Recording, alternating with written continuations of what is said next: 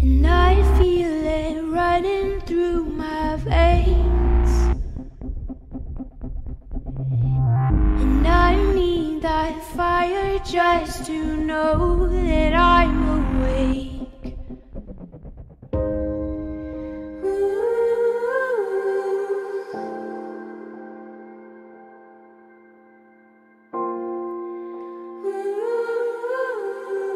thank you